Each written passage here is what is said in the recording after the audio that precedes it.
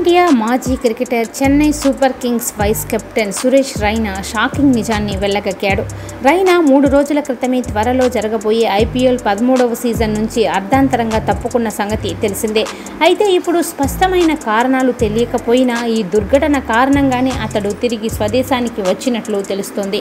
IPL నుంచి అర్ధాంతరంగా తప్పుకున్న కారణాన్ని సురేష్ రైనా వెల్లడించాడు. కొద్దిసేపటి క్రితమే రెండు ట్వీట్లు చేసి ఆయన పంజాబ్లో తమ కుటుంబానికి చోటు చేసుకున్న దుర్ఘటనపై స్పందించాడు. అక్కడ జరిగింది దారుణం కంటే ఘోరమని తీవ్ర ఆవేదన వ్యక్తం చేశాడు. పంజాబ్లో తమ కుటుంబానికి జరిగింది ఘోరమన్నాడు. మా మావయ్య హత్యకు గురయ్యారని మా మేనత్త వాళ్ళ ఇద్దరు కుమారులు తీవ్ర గాయాల పాలయ్యారని దురదృష్టం కొద్దీ గత రాత్రి మరొకరు కన్ను మూశారని చెప్పుకొచ్చాడు. ఇప్పటికీ మా అత్తయ్య ఆరోగ్య పరిస్థితి విషమంగా ఉందని తెలిపాడు. వెంటిలేటర్పై చికిత్స పొందుతున్నారని సురేష్ రైనా ట్విట్టర్ ద్వారా వెల్లడించాడు.